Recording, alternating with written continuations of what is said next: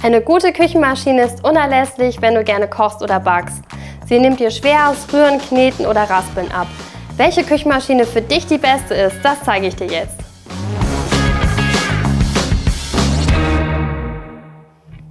Hi, ich bin Annalena von Gute Wahl. Wir haben bereits neun Küchenmaschinen getestet und füllen jetzt unser Testfeld mit fünf weiteren Maschinen auf. Der Kenwood Chef XL, Bosch Optimum, KitchenAid Classic, Smack und Krups Master Perfect Gourmet. Mit allen haben wir einen Hefeteig geknetet und Eischnee geschlagen. Den Testbericht findest du hier auf gutewahl.de. Dort gibt es auch eine Vergleichstabelle mit allen aktuellen Preisen. Die Links findest du nochmal unter dem Video. Aber jetzt ran an die Röhrer! Die KitchenAid Classic ist ein echter Klassiker unter den Küchenmaschinen. Mit ihren kompakten Maßen und der Einfachheit ist sie ein super Einstiegsmodell. Das Gehäuse ist gut verarbeitet, massiv und wirkt sehr stabil. Sie steht fest und bewegt sich beim Rühren nicht von der Stelle. Die 4,3 Liter Schüssel lässt sich einfach einsetzen. Allerdings vermissen wir einen Griff. Sie ist die kleinste in unserem Update, reicht aber für den Alltagsgebrauch aus. Der Lieferumfang ist im Vergleich zu den anderen Testmodellen etwas mau. Es gibt einen Schneebesen, Knethaken und Flachrührer. Du kannst sie aber einfach anbringen und bis auf den Schneebesen dürfen auch alle in die Spülmaschine. Mehr Zubehör wie eine Raspel, Mühle oder Pastaroller kannst du über den Anschluss vorne anbringen. Die 10 Geschwindigkeitsstufen lassen sich etwas schwer einstellen. Wenn du die Maschine aufklappst, brauchst du Kraft, um den Kopf anzuheben. Das geht leider nicht automatisch. Beim Eiweißschlagen auf höchster Stufe erreicht die KitchenAid eine Lautstärke von 77 Dezibel. Das ist im Vergleich relativ leise und angenehm fürs Ohr. Das Eiweiß wird sehr schnell fest. Auch der Hefeteig für den Hefezopf wird sehr gut zieht sich aber leider am Knethaken hoch. Wir bekommen mit der KitchenAid Classic trotz der vergleichsweise niedrigen Motorleistung gute Ergebnisse. Schade finden wir, dass du sämtliches Zubehör nachkaufen musst. Die KitchenAid Classic eignet sich für dich, wenn du zum Beispiel als Einsteiger eine kompakte Küchenmaschine suchst und zunächst nicht viel Zubehör benötigst. Die Master Perfect Gourmet von Krups ist eine ebenfalls recht kompakte Küchenmaschine und für ca. 300 Euro ziemlich günstig. Dafür ist die Verarbeitung vom Gehäuse auch nicht so überzeugend. Gerade der Geschwindigkeitsregler wirkt klapprig. Die Teig- und Knethaken sind sehr leicht und wirken nicht so hochwertig. Leider lassen sich die Geschwindigkeitsstufen auch nicht so gut ablesen, da die Zahlen am Gehäuse und nicht am Rad selbst stehen. Gut finden wir die Silikonschüssel. Darin kannst du Zutaten rühren und für später beiseite stellen. Der Motorkopf lässt sich einfach anheben und auch der Wechsel zwischen den Einsätzen klappt leichtgängig. Neben dem Teig- und Knethaken bekommst du noch einen Unterheber und einen Schneebesen mitgeliefert. Diese wirken wertig. Eiweiß schlagen wir mit der Krups innerhalb kürzester Zeit perfekt auf. Die Maschine arbeitet dabei aber deutlich hörbar mit 81 Dezibel. Der Hefeteig wird auch schnell verrührt. Wir sind mit dem Ergebnis zufrieden. Die Krups Master Perfect Gourmet ist eine schlichte Küchenmaschine, die du schon für vergleichsweise kleines Geld bekommst. Bekannt für ihr schickes Retro-Design gibt es von Smack auch eine Küchenmaschine im 50er-Look. Dafür sind die inneren Werte leider nicht ganz so überzeugend. Ihre 800 Watt merkt man ihr leider an. In unserem Test hat sie den Eischnee und den Hefeteig am längsten gerührt. Beim Hefeteig drückt sie den Teigklumpen an die Wand und schiebt ihn vor sich her.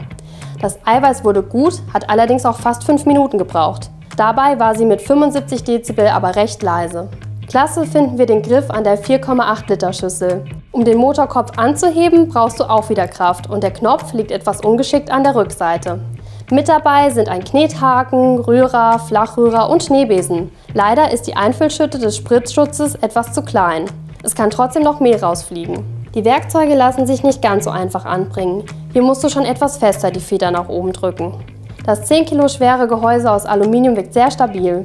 Auch die Rührer machen einen anständigen Eindruck. Die Smack kann maximal 1 Kilo Weizenmehl und 2,8 Liter Kuchenteig verarbeiten. An Zubehör gibt es nicht so viel Auswahl wie zum Beispiel bei der Bosch. Zusatzwerkzeuge wie Raspel, Nudelmacher und Fleischwolf kannst du vorne anschließen. Die Smack Küchenmaschine ist das Richtige für Retro-Fans, die nicht so viel Platz in der Küche und etwas Zeit beim Backen haben. Die Bosch Optimum hat mit 1300 Watt ordentlich Kraft unter der Haube. Wir haben das Modell ohne Waage und automatische Programme für ca. 450 Euro getestet. Die Schüssel ist mit 5,5 Liter die zweitgrößte und lässt sich auch gut die doppelte Menge an Teig zubereiten. Der Kopf hebt sich fast automatisch an, rastet aber nur schwer ein. Für den Werkzeugwechsel brauchst du beide Hände und etwas Kraft. Das ist leider sehr umständlich.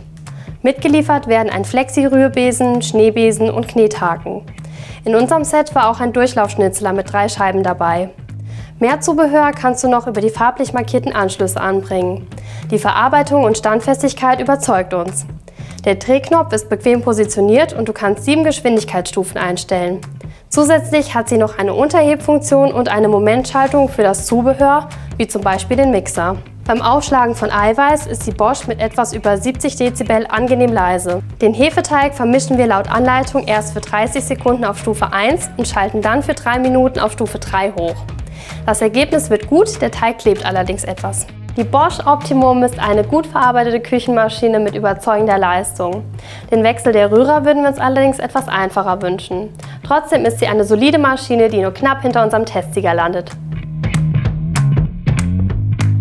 Die Kenwood Chef XL Titanium ist die größte und schwerste im Test. Dafür hat sie aber auch ordentlich Power und erhöht sich damit den Testsieg. Die Schüssel aus Edelstahl ist mit 6,7 Liter die größte im Test und hat zwei Griffe. Das ist richtig praktisch, zum Beispiel beim Umschütten. Im Inneren sind drei Skalen, damit du deine Zutaten direkt im Topf abmessen kannst. Die Küchenmaschine hat insgesamt drei Anschlüsse. Den Rührelementanschluss, einen Hoch- und einen Niedriggeschwindigkeitsanschluss. Also genug Möglichkeiten für alle Art von Zubehör. Mit dabei ist ein Schneebesen, Teighaken, Knethaken, ein Unterhebwerkzeug, Flexiröhrer und ein Spatel. Das Gehäuse und Zubehör sind sehr wertig. Die Rührer lassen sich einfach austauschen, sind aber wie die Maschine recht groß. Dafür ist das Öffnen der Maschine umso leichter. Der Kopf kippt von alleine nach hinten. Besonders ist die Kenwood vor allem durch ihre Beleuchtung der Schüssel. So hast du selbst bei schlechten Lichtverhältnissen stets einen guten Blick auf deinen Teig.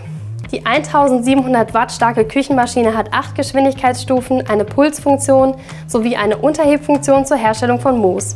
Beim Aufschlagen von Eiweiß ist die Kenwood mit 83 Dezibel sehr laut und unangenehm. Das gibt etwas Punktabzug. Das Ergebnis wird aber schön feinporig. Der Hefeteig wird nicht ganz so geschmeidig wie bei der KitchenAid, gefällt uns aber in der Weiterverarbeitung sehr gut. Wir sind vom Gesamtpaket der Kenwood Chef XL sehr überzeugt. Die Schüssel ist richtig groß, beleuchtet und die Maschine rührt mit viel Kraft. Zudem kannst du sie mit viel Zubehör aufrüsten. Unser Testsieger ist perfekt für dich, wenn du häufig backst und genug Platz in deiner Küche hast. Wenn du nochmal alle fünf Modelle vergleichen willst, dann schau auf gutewahl.de. Da findest du eine Vergleichstabelle mit allen Infos und aktuellen Preisen. Die Produkte sind auch nochmal unter dem Video verlinkt. Ich wünsche dir viel Spaß beim Backen und bis zum nächsten Mal. Tschüss!